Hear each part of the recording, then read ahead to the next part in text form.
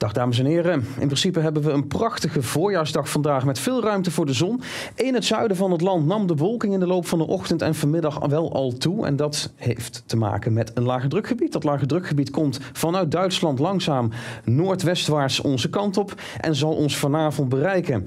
En dat gaan we merken in elk geval in een deel van Nederland. Want vooral het oosten, het zuiden en het midden krijgen vanavond en ook vannacht te maken met stevige buien. Dat zagen we de afgelopen dagen natuurlijk al op een aantal plaatsen. En vanavond kan dat opnieuw veel regen opleveren in sommige regio's. Misschien wel een maand hoeveelheid. Nou, dat lage drukgebied zien we ook mooi op de animatie. Vanuit Duitsland vanavond over ons land heen trekken met dus regionaal langdurig zware buien. In eerste instantie kan daar ook onweer bij voorkomen. Maar morgen zitten we al achter dat laag en dan is het overwegend droog met veel meer ruimte voor de zon. Nou, we zijn zeker nog niet van de buien af, want de dagen daarna, vooral vrijdagmiddag en ook zaterdag, neemt de kans op regen- en onweersbuien weer toe. Dat zien we hier. En ook dan kan er plaatselijk weer veel neerslag vallen. Het is daarbij over het algemeen wel aan de warme kant met temperaturen vaak rond of iets boven de 20 graden. Gaan we even kijken naar de buien voor vanavond en vannacht. Want dat kunnen zoals gezegd wel zware buien worden. De eerste buiencomplex trekt hierover. Dat zal eind van de middag en vanavond gebeuren. En daarna regent het eigenlijk lange tijd in een strook over het midden van het land. En dat levert echt behoorlijke neerslaghoeveelheden op. Het is wel een vrij smalle strook, zoals we op deze animatie mooi kunnen zien.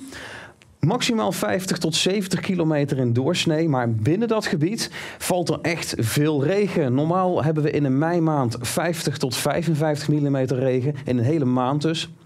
En we zien hier dat er vanavond in die strook van zuidoost naar noordwest, dwars over het land, makkelijk 50 mm kan vallen. En op sommige plaatsen hier tussen die prikpunten in zouden misschien ook wel eens 60 tot 70 mm regen kunnen vallen. Uiteraard kan dat lokaal aanleiding geven ook tot wateroverlast. En vooral vanavond is er ook kans op onweer. Nou, vanmiddag is het dus nog overwegend droog. Later bereikt de eerste onweersbui Limburg. En dat trekt vanavond dan geleidelijk, vooral dus in een strook over het midden van het land, over ons land heen. Met dus her en der echt grote hoeveelheden regen. Voor die buien uit is het nog een graad of 25, maar zodra de buien inzetten daalt de temperatuur vanavond naar een graad of 18. In het noordoosten lijkt het overwegend droog te blijven, met daar eerst nog veel ruimte voor de zon. En in die regio zal de temperatuur tot halverwege de avond nog wel rond of iets boven de 20 graden blijven liggen. Nou, komende nacht trekken de zwaarste buien geleidelijk richting het noordwesten weg.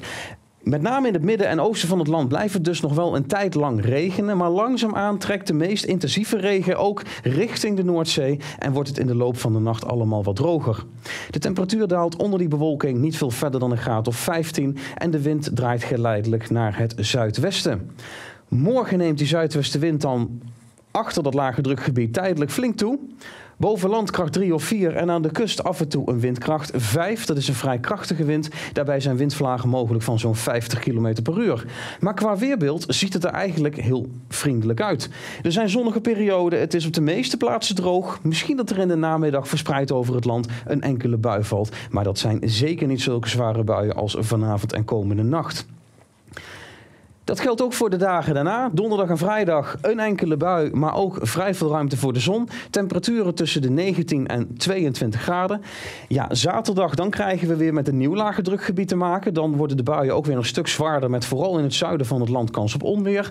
En daarna blijft het eigenlijk wisselvallig met geleidelijk wel weer wat oplopende temperaturen. Misschien dat we in het binnenland zelfs wel een keer 24 of 25 graden halen. En dat geldt ook voor de lange termijn. Het blijft over het algemeen vrij warm na voorjaarsweer met temperaturen veelal rond of boven de 20 graden en in het oosten van het land af en toe tippend aan een zomerse 25 graden. Ik wens u een mooie dag.